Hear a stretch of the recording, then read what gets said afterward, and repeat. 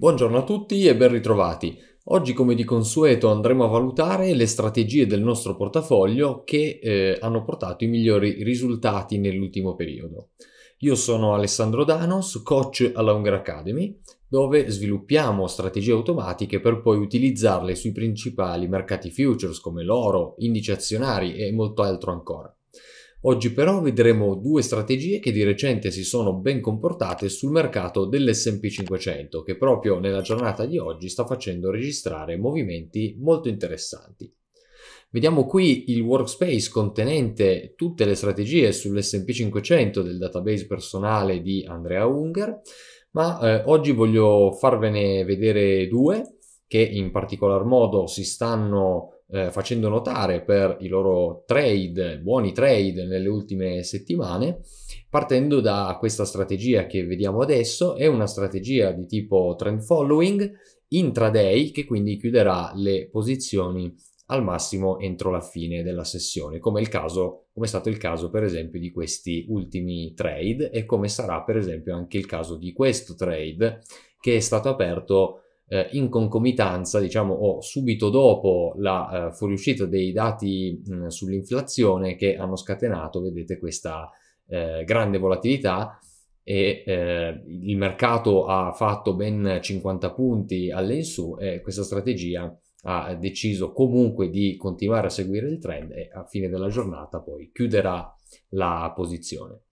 Andando a vedere il report di questa strategia, vediamo che è una strategia, diciamo che ha vissuto momenti sia eh, non belli, sia momenti molto invece molto positivi, eh, come infatti sono stati gli ultimi due anni. È una strategia che è stata sviluppata nel 2017, più o meno potremmo dire in questo punto qui, e che eh, diciamo dopo una prima fase iniziale in cui la strategia aveva funzionato anche parecchio bene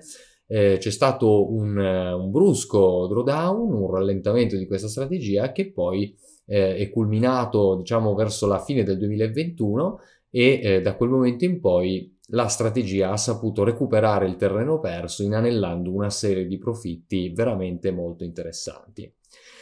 La strategia piazza ordini su eh, due livelli calcolati eh, a partire dall'open della sessione eh, e sono calcolati come semplicemente un, come una distanza dal prezzo di apertura calcolata sull'ATR. Quindi se a partire dall'apertura il mercato farà dei movimenti verso l'alto pari a un numero di volte il valore dell'ATR, ecco che la strategia entrerà a mercato long. Tornando sul report di questa strategia, possiamo vedere che essendo una strategia intraday non, eh, un, non arriva ad avere un average trade particolarmente elevato, in questa strategia abbiamo già aggiunto i costi commissionali e lo slippage che si andrebbero a pagare eh, live, operando live su questo mercato, in particolare abbiamo inserito 30 dollari a operazione che quindi comprende sia il trade d'ingresso sia il trade di uscita. Vedete che eh, diciamo questo tipo di logica, quella trend following, eh, su questo mercato funziona quasi meglio e più efficace, potremmo dire, sul lato short. Infatti l'average trade eh, del, del, lato short è ehm, più grande rispetto all'average trade del lato long e questo è tutto dire su un mercato come l'S&P 500 che sappiamo avere un bias rialzista molto pronunciato.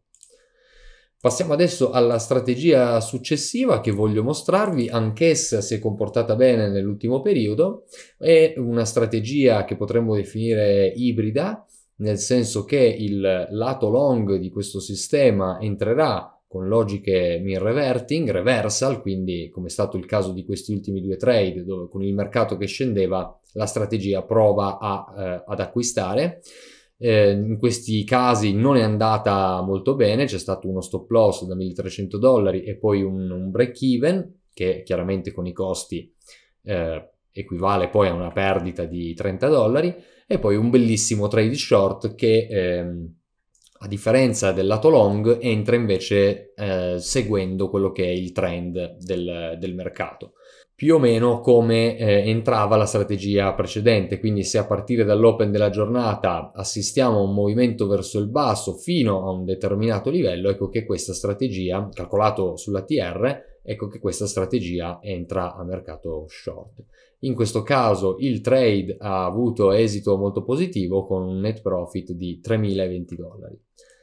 Anche questa strategia out of sample dal 2018, quindi potremmo dire più o meno ecco, da, da questo punto qui, vedete che ha risposto molto bene anche nel periodo post sviluppo e si trova su quelli che sono i massimi di equity. In questo caso la strategia, essendo multi-day, arriva ad avere un average trade molto più capiente, siamo su 268 dollari eh, ben bilanciati i trade tra long e short, su questo mercato consigliamo comunque un numero maggiore di trade long rispetto a quelli short perché eh, chiaramente con un buy and hold di questo tipo eh, sarà molto più difficile andare a individuare i migliori momenti per shortare questo mercato. Negli ultimi due anni questa strategia è riuscita a portare a casa mh, circa 24.000 dollari al netto, come detto, delle commissioni e dello slippage che eh, diciamo fanno il paio con l'altra strategia che anch'essa negli ultimi due anni ha eh, diciamo vissuto un momento molto molto favorevole con eh, dei ritorni superiori ai 30.000 dollari.